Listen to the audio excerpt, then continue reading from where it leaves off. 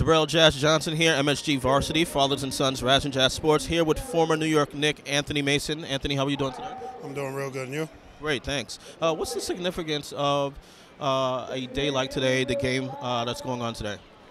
Well, the significance is, is surmountable. I mean, the significance of what he's done for us uh, as a people and the rights that we now have and the things that we can do, I mean, you can't even describe. It should be a Martin Luther King week.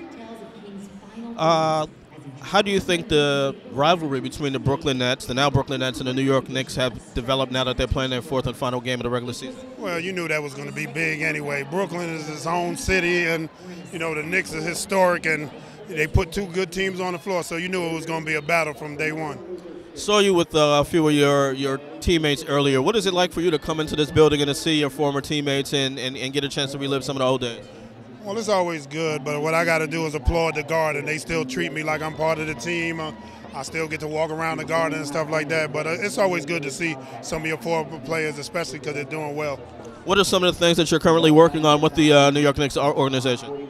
Well, I'm not really uh, an employee, but I still do appearances for the Knicks. Right now, I'm doing insurance, high net worth individuals and businesses, you know, and I'm, I'm trying to get some stuff within these athletes because uh, it's too much of a high rate of uh, poverty after retirement. And if they can plan ahead using insurance vehicles, not just because I'm doing it, but just because of the stuff I've learned, then I think it can be a great tool for them. And a lot of people won't be going, you know, broke after five years of retirement. How disheartening is it to see some players that you used to play with talk about being broke after they've made millions of dollars?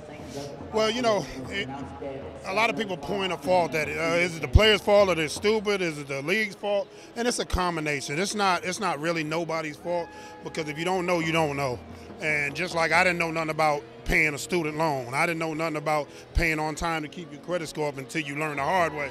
So a lot of people learn the hard way. And then you got to remember, us as athletes, nobody's helped us growing up we seen our mothers and our fathers working two, three jobs. Then all of a sudden we get this big contract and everybody jumps out the woodwork. Hey, I got an idea. So some of us go into a defensive cocoon and it can work both ways. You might hide from a snake or you might miss on good advice. So you get caught up like that. So it's not really no fault. But if we can get this out early and start teaching these kids maybe in high school. Because, I mean, Columbus discovered America is a beautiful thing, but at the end of the day, that's not going to help your, your credit score. That's not going to help you with your bills. You got to learn some of this financial education, and, and it can be useful. And that's through insurance vehicles, that's through saving, that's through better planning. Thanks a lot, Anthony. All right.